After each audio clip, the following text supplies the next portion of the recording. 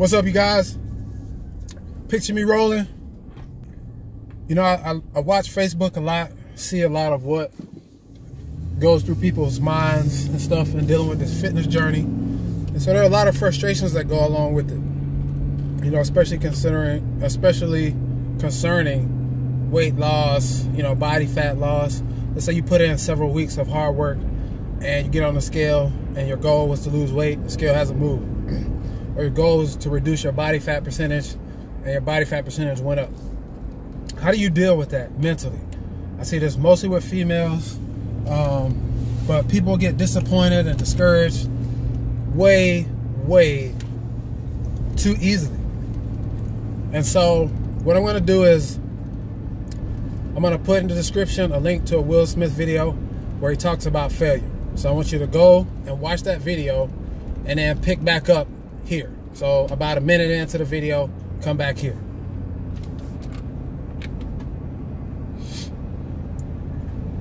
All right, so hopefully you watched the video from Will Smith and what he's talking about in that video, and it's great that he makes an application to fitness. Uh, I want to clarify a little bit of what he says. He talks about fitness is basically trained failure. Um, you don't want to exactly go to complete failure on every exercise and every workout. It takes your body too long to recover. And I'm talking about where you do so many reps that you couldn't do another rep even if you rested for a few minutes and came back and did it.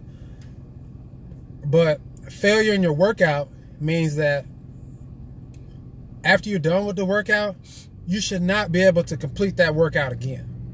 So you've reached the threshold for what you for what you can do for that day as far as the workout is concerned. So or or let's say let's say you're doing squats or incline press or whatever it may be. Even if it's treadmill sprints, you can apply this to anything.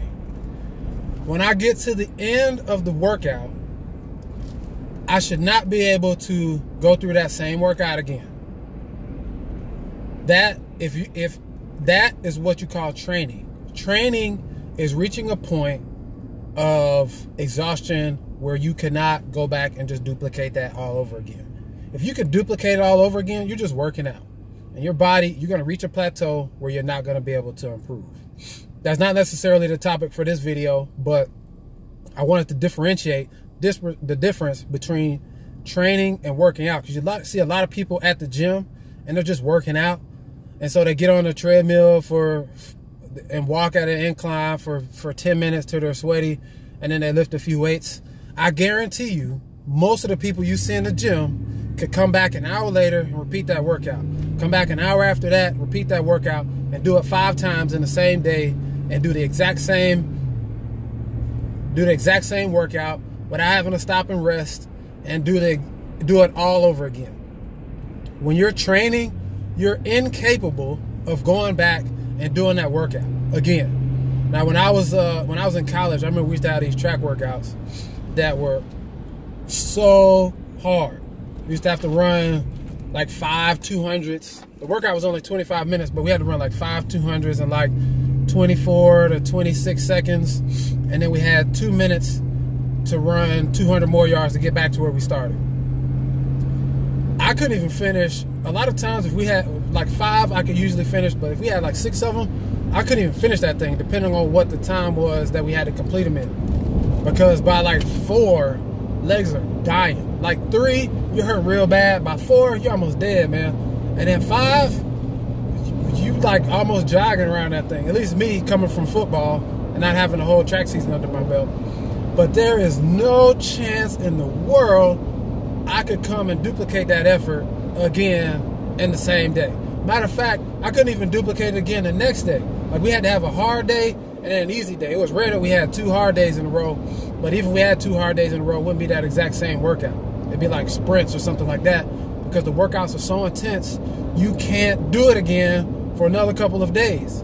That is training. A lot of you are just working out. But anyway, that's my soapbox for this video train, don't work out. But anyway, when Will Smith talks about failure, we're talking about doing stuff and realizing that failure is a part of the game, right? So you're going to go to the gym, you're going to set out to do some weight, especially if, you, let's say you're going to do a max bench press or a max squat. You're going to eventually get to a weight that you can't do. So you keep working and you keep upping your your repetitions and the workouts between your max maxing sessions. You don't want to max every time. That's not smart. You just continue to up the weight that you train with to increase your strength, and then you increase your max down the road. But you're gonna have to get to a weight where you're gonna fail. You're gonna have to try a weight that you can't do. And that's where you fail. When you're doing diet, when you're trying to lose weight, you're going to fail. You're going to have days where you fail. You're going to have cheat meals. You're going to have days where you intended to do good and you ate some pizza or a hamburger. Like you had all the good intentions in the world and you ate the pizza and the hamburger. You're going to have days where you thought you did everything right. And you get on the scale and you gain a pound. And so you're at a loss. Cause you cause you failed for that day. You failed in terms of what your goal was for that day, which was to have either, you know, a slight loss to, you know, a good loss for the day. So how do you cope with that? I find a lot of people that get discouraged over one little thing and then they go in the tank. You cannot be involved in fitness without being able to accept failure. And then number two, to be able to accept responsibility for failure. Because most of the time, it's your fault or my fault when we don't reach our goal. 99.999999999% of the time, it's our fault. I, I monitor and counsel people on weight loss. My bad. All the time. People are making progress, are consistent, they're reporting, they're telling me what's going on with what they're doing, they're taking food logs, they're detailed, they're preparing their meals, doing all that stuff. When they get off track, they stop reporting. And every time they come with some excuse like, oh, I was discouraged because the scale said blah, blah, blah, blah. And every time it's their fault. Every time. Oh, I ate out. Oh, I did this. Oh, I did that. And then comes flying the excuses. Now, I'm patient and compassionate, but I'm a trainer, and my job is to help you get results. So the tough love is coming. You got to accept the responsibility for what's your fault. Don't blame your body. Don't blame your family because they were eating bad food. Don't blame your medication. Don't blame your trainer. Take responsibility for what you did because it's your fault. Almost certainly it's your fault. There are a couple of med- medical situations where, you know, you got to be a little bit more detailed. You got to figure out what's going on. But that's why you take detailed notes so you can figure out what the problem is and work around it. If you're not losing the weight, take responsibility for it because it's your fault. You failed. So now, what do you do? Don't get discouraged. Get your behind back in action. And get back on the grind. Get back on the attack. We don't have time for you to be moping around. We don't have time for that. And all, every time, it's, it's excuses. Every time. So don't make excuses. Just realize and accept the point, the, the fact that you failed. Now, there are some situations that you can't control. Like, ladies, sometimes your menstrual cycle comes, you get bloating. You can't control that. That's an uncontrolled fail. You're going to bloat a couple days before your menstrual cycle starts. You're going to retain a bunch of water. You might gain a half a pound. You might gain one, two, three pounds. All right, that might be slightly discouraging, but it's just water weight, and it's going to go away after a couple days. You know this. It's been happening your whole life. So there's no need to get discouraged. Just wait it out. We're talking about we're talking about mental preparation for the long haul. So we're looking at trends. a couple of days in the grand scheme of things, stupid camera, is not that big a deal. A couple of days with a couple of extra pounds of water weight because your hormones are all out of whack, it's not a big deal, man. So stop making a mountain out of a molehill. And I know just naturally the female, the way females process things, you tend to like detailed oriented, so the, the slightest little thing setback can weigh on you heavily. But you got to have the mindset of, I don't care what happens, I'm gonna get this done. Your motivation has got to be legit. Like you got to have the right kind of motivation. You got to have multiple sources of motivation. So let's say you're trying to lose that last 10 or 15 or 20 pounds. Now, it can't be the end of the world. Your primary goal is health first. So, if you're working towards being healthy, which means you're exercising regular, you pay attention to what you eat on a daily basis, that doesn't mean that you're not to have cheat days, you're not going to eat out occasionally. But if you're working towards, or if your health is a priority to you, and that shows in your daily activities, that you're working out consistently, that you're watching what you eat on a consistent basis, then you've you've already completed the primary reason for fitness. So you're already winning. What we do after that is the cherry on top. This is that's the extra part that we're working towards. So don't get discouraged when that happens. Now that being said, if you continue to just go off the chain and fall off the wagon every weekend, you got nothing to complain about. And frankly, I don't want to hear it. I don't want to hear that over and over again. So get your life together and then let's get back on. You let me know when you're ready to get back on the program. This is exactly what I tell people who I'm working with in my turn. I don't want to see you send me the same stuff over and over again while you're not even trying, while you're not trying hard enough to do what you've done before to get you to where you are or where you were before you took several steps back. You've done it before, you can do it again. You just got to want it. But anyways, your motivation has got to be in the right place. So your motivation to lose the extra 10 pounds has got to be, okay, I'm trying to lose this 10 pounds um, for whatever reason. Maybe it's to, to fit in the size clothes that you're trying to get in. It could be just to look better naked. It could be whatever that it could be whatever that is. If you've reached a certain point before and you've backslidden, your goal to lose that 10 or 15 pounds may just be to overcome the complacency that got you to where you were or where you are now. Especially after the holiday season, you get complacent, you get lazy, it's cold, it's dark, you may have skipped some workouts, ate out a few too many times. So you took some steps back in terms of your progress and now you're finding it hard to get yourself back uh, back to where you were. Your part of your motivation is just to overcome the complacency. That's my goal. Even if I'm pushing harder on my workouts, I'm more focused on my diet. I'm logging my meals now just to just to go overboard. I'm making sure I'm getting enough rest. I got my um, diet in order. I'm not stressed out you got to make sure that you're focused on the things that matter and helping you to get back to where you were. And even if you overcome the consistency uh, issues that you had or the complacency issues that you had, that's a victory in and of itself. Go to your workouts every day and kick butt. That's a win. That's a win regardless of what the scale says, regardless of what the body fat says, you won because you overcame complacency. You overcame inconsistency.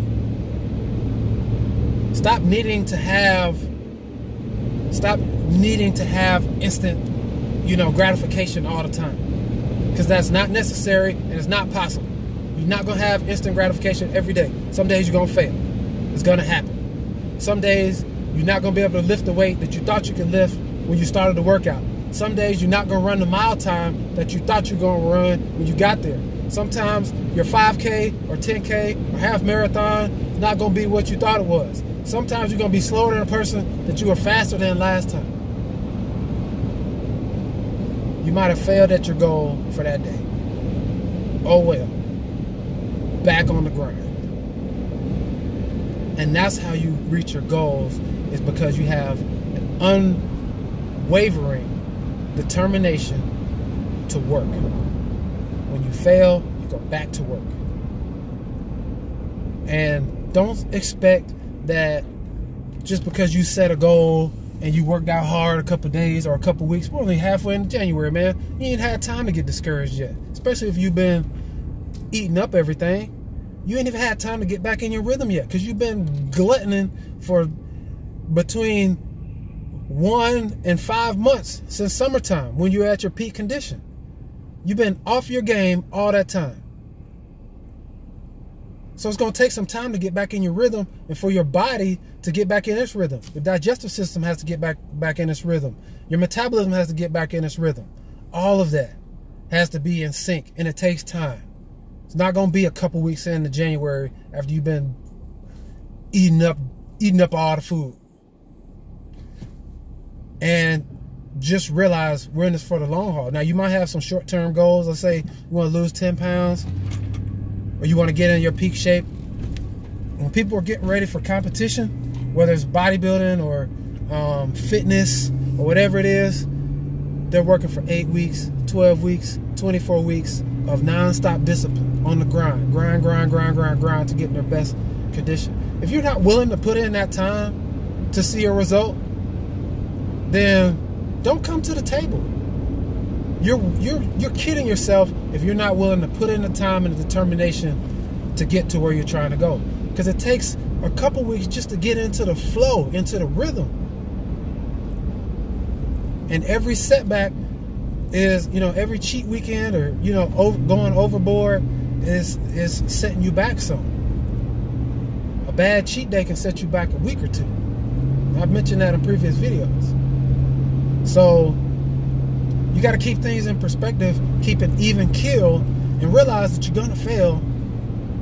But failure is only a tool to build to build the um, to build the determination or to continue the determination to build an unwavering consistency that leads to success. Michael Jordan, who's considered the best basketball player of all time, his career shooting percentage was 50%, just over 50%. So he failed at shooting half the time. Still the greatest. So consider that. You're going to fail. You're going to have bad days. You're going to have days where you can't understand what that scale is talking about. Going to have those days. It's going to happen. So you got to be prepared. Don't get on the scale expecting to lose a pound a day because that ain't even realistic. A couple ounces a day. A couple ounces a day if you go like from, you know, 150.5 to 150.2 or 150.3, average that out over the course of the week. We're talking about a pound and a half or something like that. And then average that out over a course of a month. We're talking about six, seven pounds. You got to have the attention to detail, know what to focus on, and be able to take the, the gut check when reality hits you in the mouth and says, hey, this ain't going to be that easy. When you get to that plateau and it's hard for you to cross it, and you got to keep working, you got to keep being determined. Plateaus are there for you to overcome. It's a hurdle, it's a hill, it's a it's a a challenge that needs to be conquered. And you just got to have the unwavering will to keep attacking until you conquer it. I've been trying to run a sub 20 minute 5K for, shoot, five years. Still haven't got there. I realize that that's my failure because I haven't put the emphasis on running that's necessary for me to do that. Now, I've made some improvements um, as far as being able to maintain the same, maintain the same pace and be uh, 10 pounds heavier, that to me is an improvement. I've actually gotten back to, you know, strength wise, uh, as stronger, stronger than I was in college. So that's something for me to hang on to. Hang on to the small victories. I haven't gotten that 5K time yet, but I'm still working at it. I'm not going to give up. I'm not going to give up. I'm not going to get discouraged. I'm just going to keep working at it because I know that there's still more that I can do. Stop looking for somebody else to do it or looking for somebody something to blame for stuff that you haven't done enough for. But you can't obsess. You can't be fixated on when things don't go your way. You got to be able to take a licking and keep on ticking. This applies to every aspect of your life. If you're working towards a promotion, you don't get it yet, so what? Get back on your grind. Your promotion may not even be at that job. Your promotion might come from somewhere else. Somebody else might be watching and then they leave to another company and want you to come with them. You got to stay on the ground. If you get discouraged too easily, there's going to be so much stuff that you miss out on. You got to be willing to fail and just get back, just just brush it off. Ah, ah, I'm gone. It's off. I'm gone. I'm, I'm done. I'm done with that. And keep moving. So, anyways, I intend for this video to be that long, man. But I, I feel like some people need it, or you know, a pick me up, something to mo motivate them, and a kick in their behind. Get your behind on the grind. All right. Y'all keep keep hustling, man. Keep grinding. I'll let y'all next video. Peace out.